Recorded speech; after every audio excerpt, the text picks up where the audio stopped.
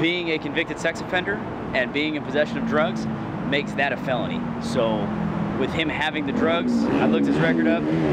He is a convicted sex offender uh, from 1992, so it's pretty old, but it doesn't change the fact that it's still a felony for him. Um, he just recently got off parole for not registering as a sex offender. Um, so all that adds up to the fact that the possession of meth, however, I think it's a couple grams, makes it a felony for him. So with that, he's going to go to jail, get booked in for it instead of getting a ticket. He, unfortunately, we can't be the victims of uh, like an indecent exposure. So when uh, when Coltrera talk, talked to him at the window, he was actively masturbating. Um, so we can't be the victim of that indecent exposure. And the, the young lady that was here with him said she was that they were going to have sex. So that's why they were here, parked here, was with that intention to have sex.